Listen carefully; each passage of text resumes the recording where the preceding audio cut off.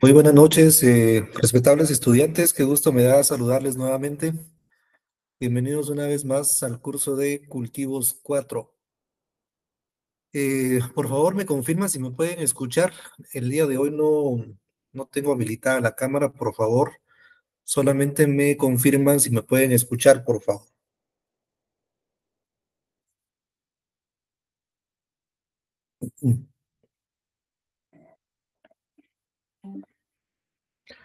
Vamos a dar un minuto más para que más estudiantes se puedan eh, trasladar del curso anterior a este, por favor. Un minuto.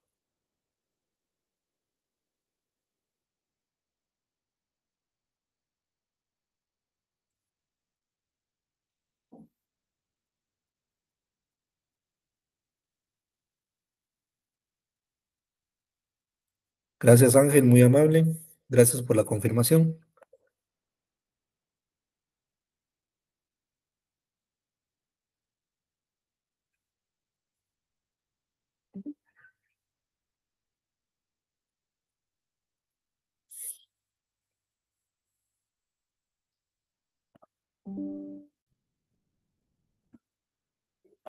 Bueno, empecemos entonces muchachos, si ustedes están de acuerdo. Empezaremos con la clase número 7 del curso de cultivos 4, cultivos de exportación. Y precisamente hoy vamos a, a platicar un poquito sobre el cultivo de café. Ese es el objetivo de hoy, describir las generalidades, forma de producción, algunos aspectos de comercialización y algunas áreas de siembra del cultivo de café. Uno de los cultivos, por supuesto, más importante de Guatemala o dentro de la cultura productiva del país, en el agro, pues el cultivo de café, de café representa eh, pues uno de los primeros lugares en cuanto a su importancia económica y también en cuanto a su área de producción. Eso es lo que vamos a ir tratando de platicar el día de hoy. Hablemos un poco de las generalidades del cultivo de café. De acuerdo al Banco de Guatemala, de enero a noviembre del 2018, el café es el segundo producto agrícola más importante del país y el tercero de las exportaciones a nivel general. Se tienen registradas exportaciones de café por 656 millones de dólares, equivalente a más o menos el 7% del total de exportaciones que produce Guatemala, ¿verdad? Vemos así entonces que los datos son muy importantes, tanto económicos como en términos de producción. Por supuesto, estos datos están al 2018, pero vamos a presentar a continuación pues algunas cifras más actualizadas del año 2023. Es importante mencionar que a nivel de toda la República, más o menos en un 60% de los municipios se produce café aquí en Guatemala se cosecha café en aproximadamente 204 de los 340 municipios que existen hoy en día. Eso significa pues que prácticamente en todo el país, se podría decir casi todo el país, tenemos por lo menos la presencia de ciertas manzanas de producción de café. La, la, caficultura pues está presente en todos los departamentos y es uno de los sectores económicos que más oportunidades de empleo representa. Más o menos 500 mil empleos al año son, eh, están disponibles por los sistemas de producción de café que están dispersos en todo el país, principalmente en el área rural, donde ustedes saben perfectamente bien que las oportunidades de trabajo y de generación de ingresos económicos muchas veces se ven restringidas o limitadas y por lo tanto las personas de estas localidades necesitan una fuente de trabajo para poder subsistir, no solamente ellos, sino que también sus núcleos familiares. Y siendo un cultivo que prácticamente se mantiene en cosecha todo el año, pues uh, se convierte en una excelente fuente de trabajo para las personas. Y pues esto contribuye a, de alguna manera, influye en el comportamiento o en el fenómeno de la migración, tanto interna como externa. Cuando hablamos de una emigración interna, pues hablamos del traslado que hacen las personas de un departamento a otro para buscar fuentes de empleo o fuentes de ingresos. Y cuando hablamos de la emigración externa, pues es cuando las personas salen de la frontera guatemalteca para intentar encontrar oportunidades de trabajo en otros países. Entonces, en el momento que los sistemas de producción de café están activos y se, demanda mano de obra, pues esto evita que muchas personas tengan que emigrar hacia otros países. Si van teniendo dudas, por favor, muchachos, eh, yo les, les suplico, por favor, que las vayan expresando aquí en el chat de YouTube. Yo voy a estar atento para ir leyéndolos y pues ah, atender algunas de las dudas que ustedes puedan tener. Muy bien, continuamos entonces. Aspectos agroclimáticos. ¿Cuáles son las características, cuáles son las condiciones más ideales para que el cafeto, que es eh, el nombre que recibe el nombre de café, de la planta de café, el cafeto, pueda desarrollarse adecuadamente? Estamos hablando de que la temperatura necesaria debe oscilar entre los 17 a los 23 grados centígrados. Aquí en la capital, en la ciudad capital, tenemos una temperatura promedio entre 23 25 grados, vamos de 20 a 25 grados aproximadamente. Por lo tanto, podríamos decir que la temperatura ideal pues tiende a ser de templada a fría, ¿verdad? Eh, áreas con mucha temperatura eh, o mayor temperatura de 25 grados, pues podrían ser no tan aptas para que el cultivo se desarrolle adecuadamente.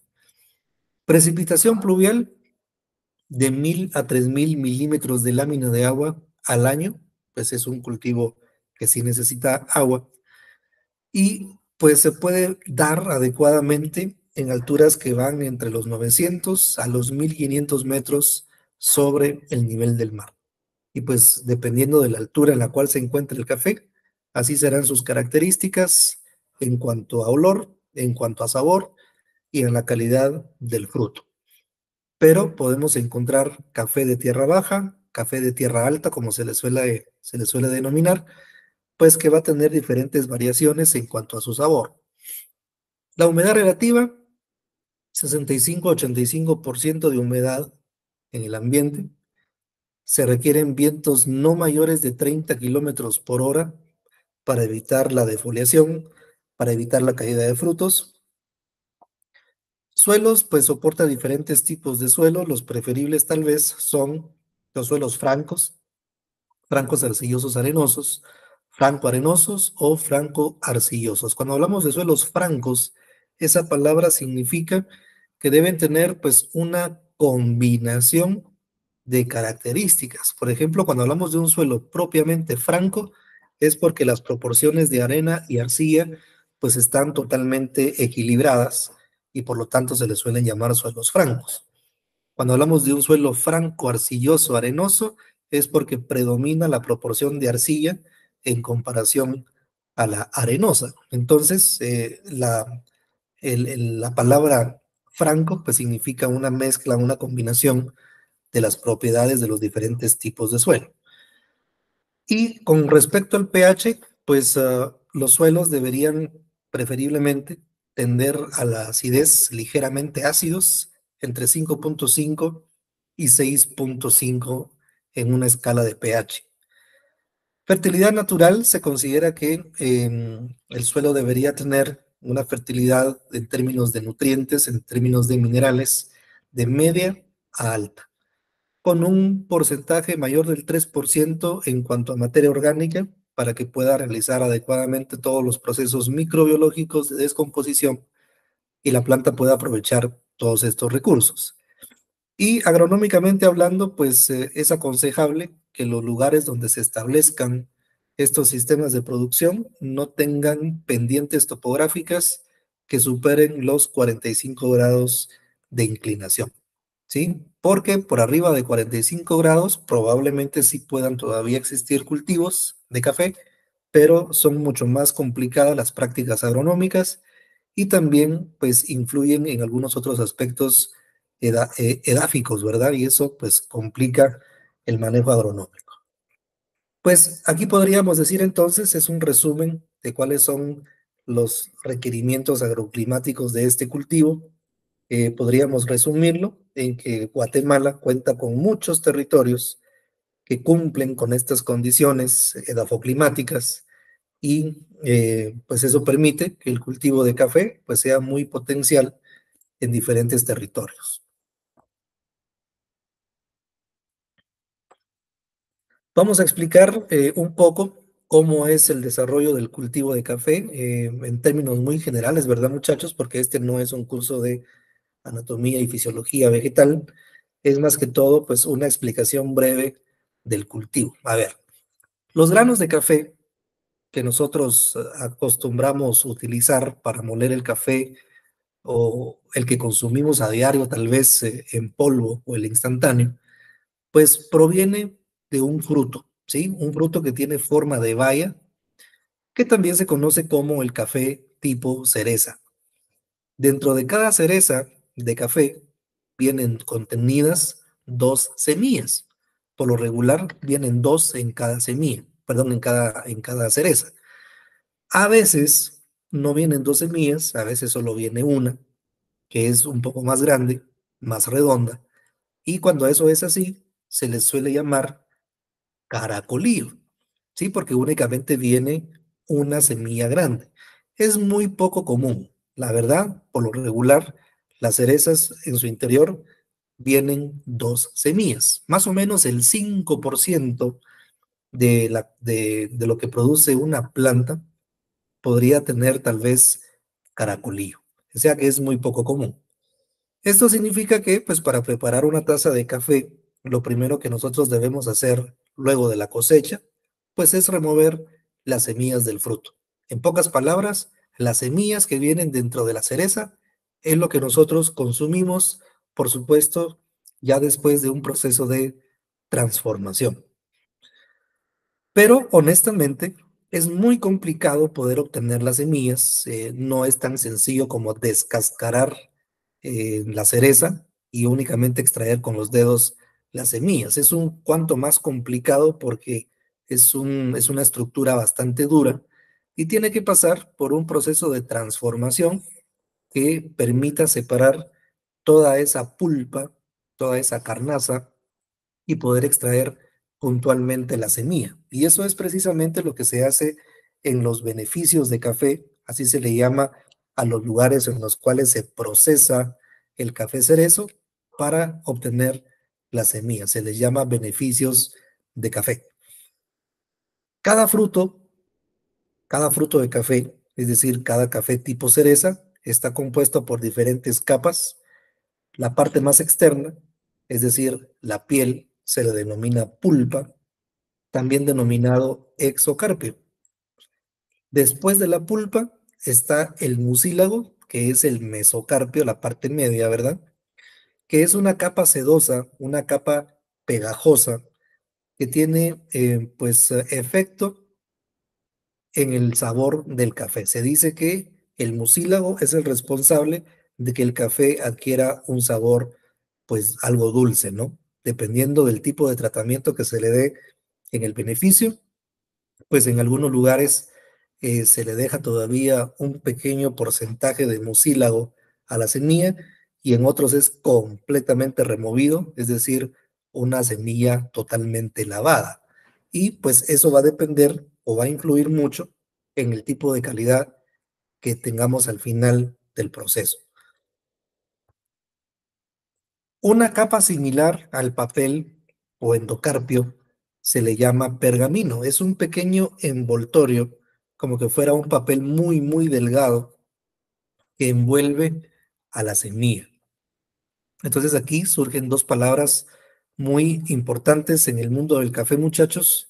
Tenemos el café tipo cereza, que es el, el fruto totalmente crudo, el que se corta directamente de la planta, café tipo cereza, y después del proceso de beneficiado, es decir, después del proceso agroindustrial, pues ya tenemos otro tipo de café, que es el café tipo pergamino.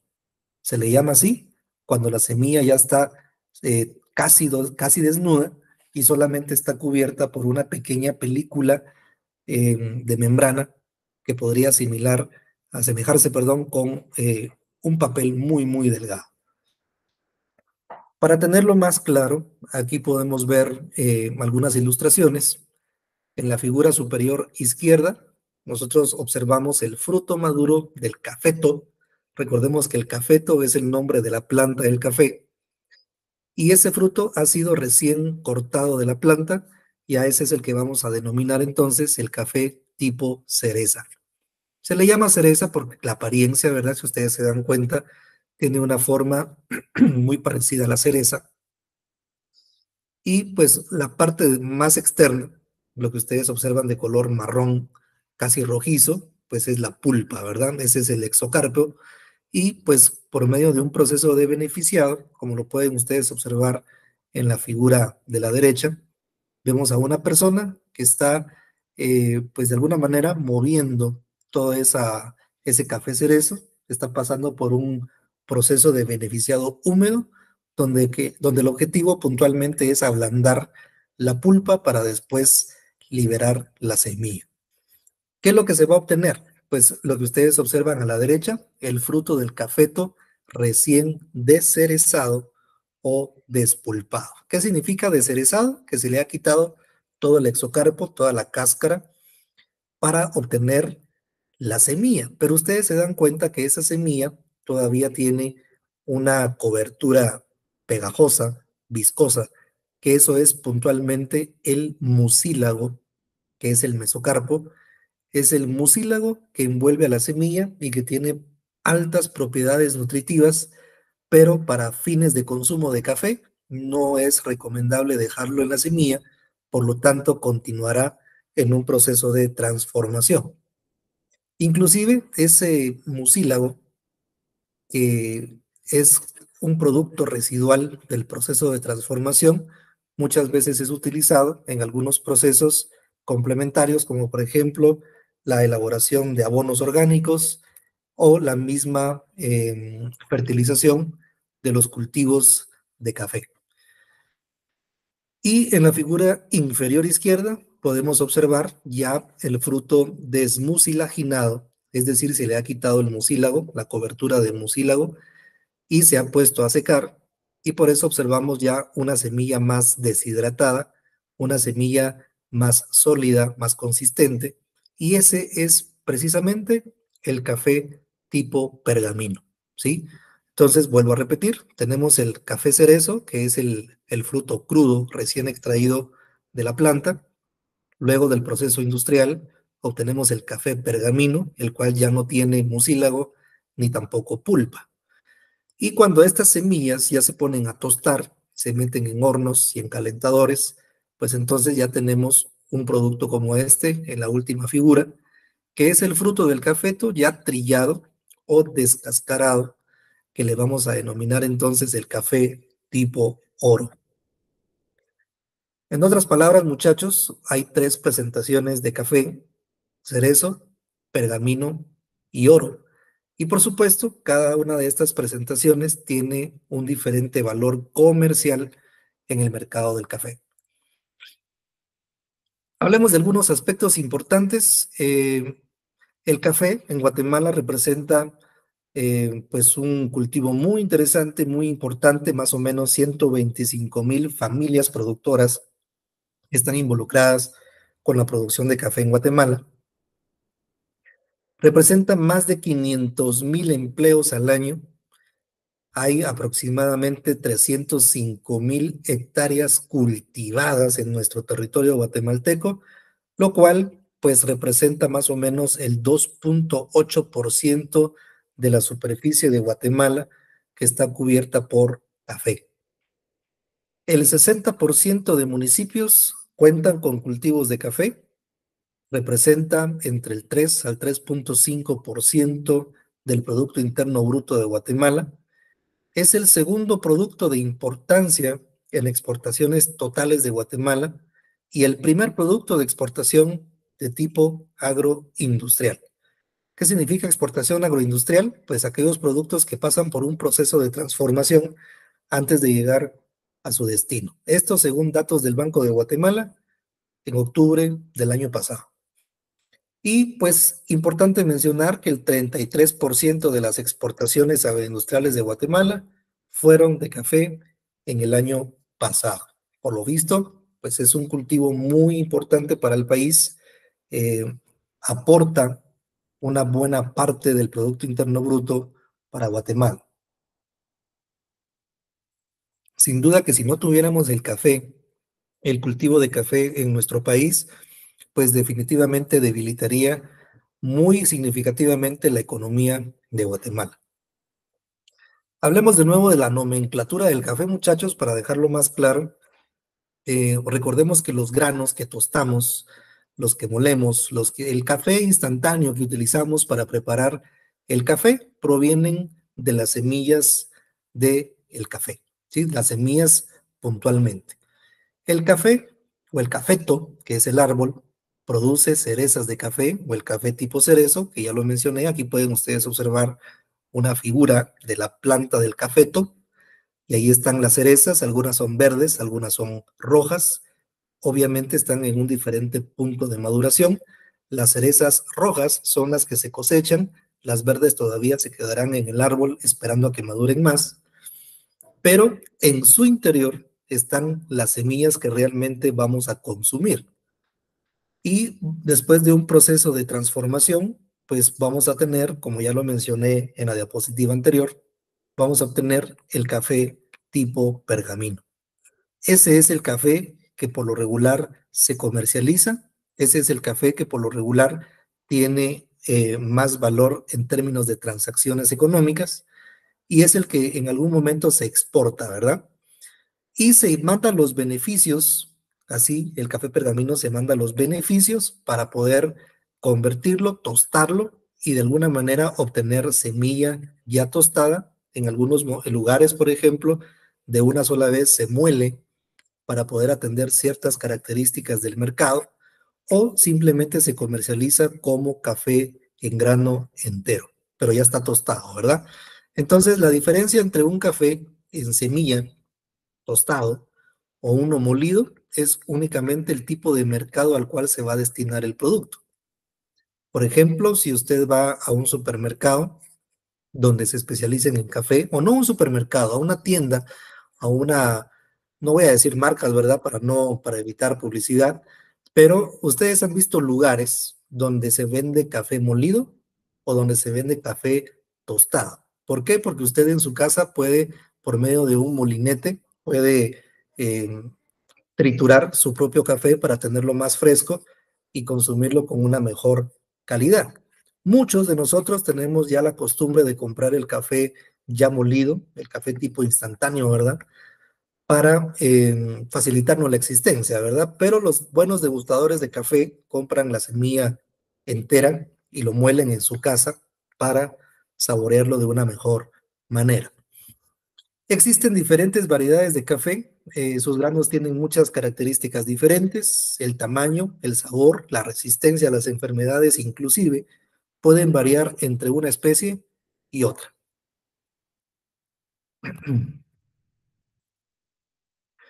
Entonces, repito, aquí podemos ver eh, la mano de una persona sosteniendo un café tipo cereza, es decir, un fruto recién arrancado de la planta suele tener en la parte más externa el exocarpio, la cáscara, ¿verdad? La pulpa, y puede tener diferentes colores. A veces puede ser verde, eh, roja, como lo estamos viendo aquí en la fotografía, puede ser amarilla, puede ser naranja, puede ser de color rosa brillante, pues dependiendo de la variedad o la especie que estemos hablando.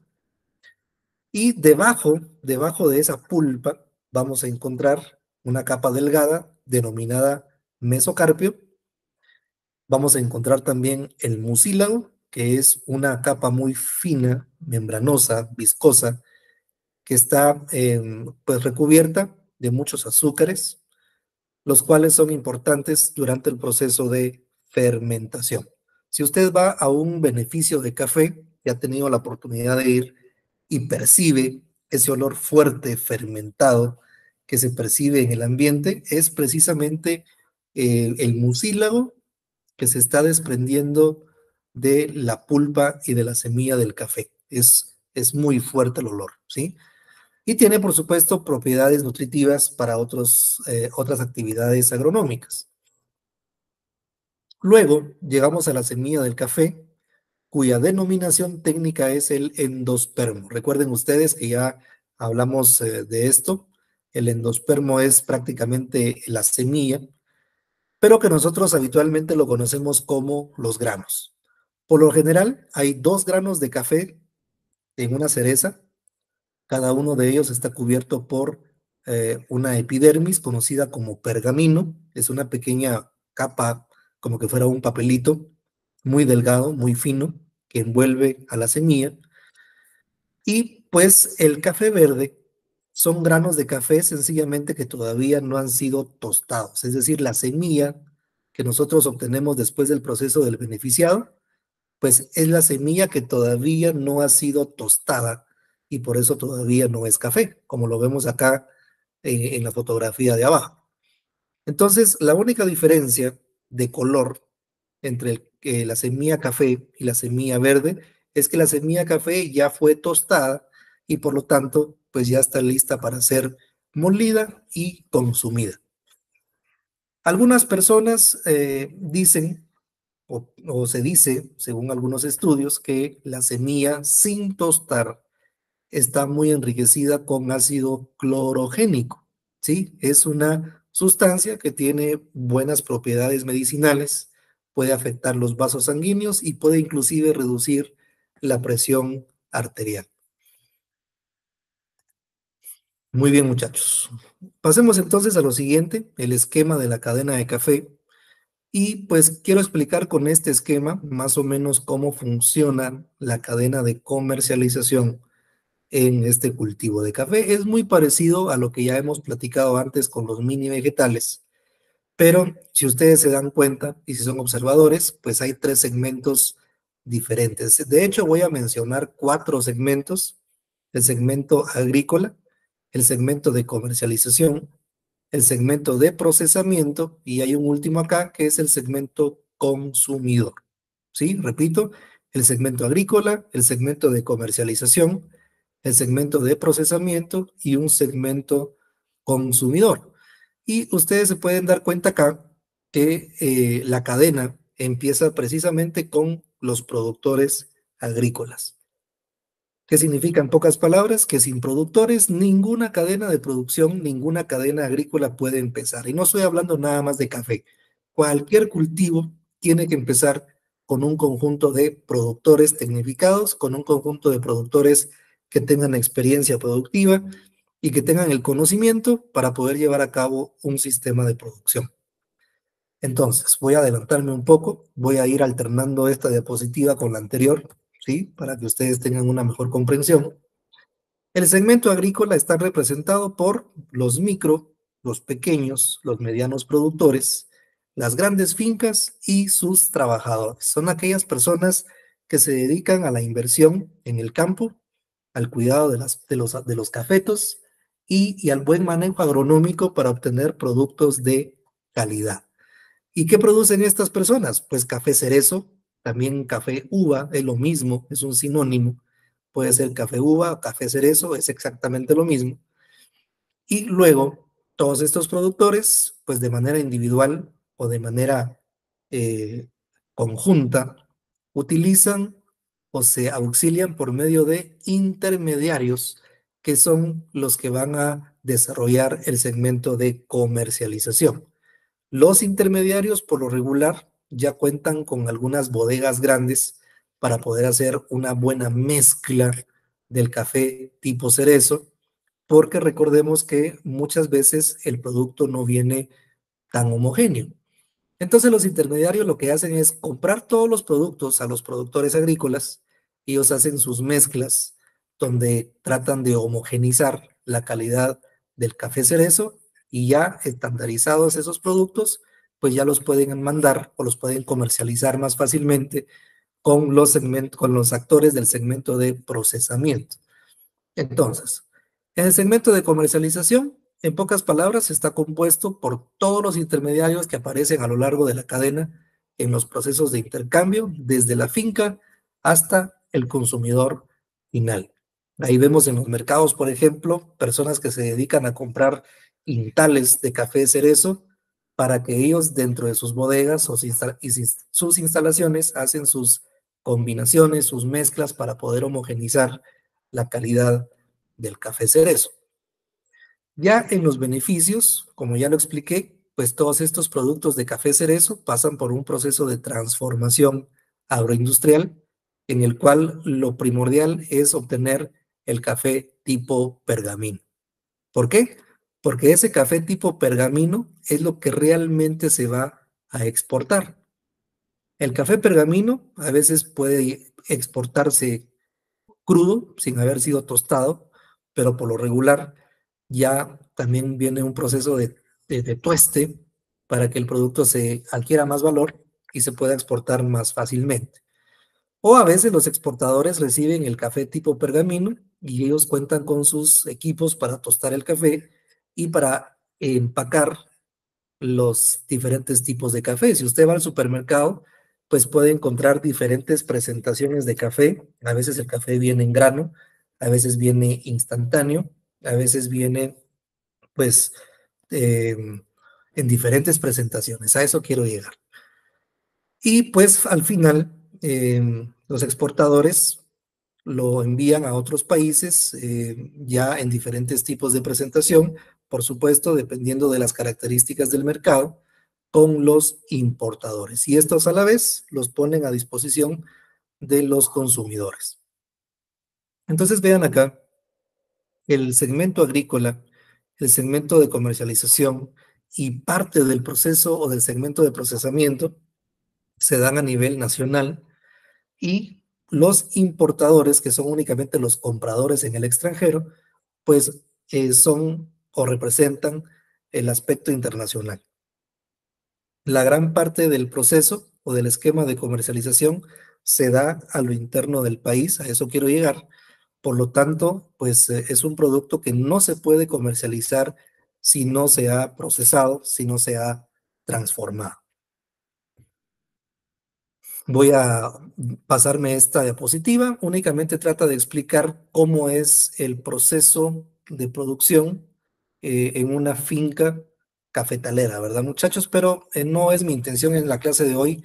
Lo estamos viendo más desde un punto de vista de exportación. ¿Qué tipos de café exportamos? Tenemos diferentes tipos de café. En esta gráfica ustedes pueden observar que Guatemala eh, se concentra mucho en el café estrictamente duro, pero también hay otras características. Hay semiduro, prima, extra prima, robusta. A ver, veamos un poquito. El prima lavado es un grano pequeño, forma normal, liso en verde y tostado, con la ranura abierta y recta de color verde aceituna. La fragancia es leve tiene una acidez suave y un sabor a hierba fresca. El extra prima lavado, que es otro tipo de café exportado, es un grano pequeño, la tonalidad del verde es más oscura que el prima lavado, con la hendidura poco torcida y semiabierta, la fragancia y aroma de suave a moderado, acidez moderada agradable. El semiduro es un grano mediano, de forma mejor definida que los prima y extra prima, de color verde jade, poco corrugado. Su hendidura, poco torcida, su fragancia y aroma son moderados, su acidez moderada y agradable. El duro es un grano grande, compacto, denso, la hendidura generalmente es cerrada, es muy fragante, muy aromático, con sabor y dulzura muy agradables. Y el estrictamente duro es un grano bastante compacto y corrugado, con la hendidura bastante cerrada y torcida, generalmente el color eh, es verde azulado. La acidez es pronunciada, con fragancia y aroma muy intensos, dulzura y sabor pronunciados. En términos de exportaciones, observen muchachos, aquí tenemos una serie de años en las cuales podemos observar lo más interesante, las últimas dos columnas. Observen que para el año 2023, Guatemala eh, exportó 3.87 millones de quintales, que es una cifra un cuanto menor a los años anteriores.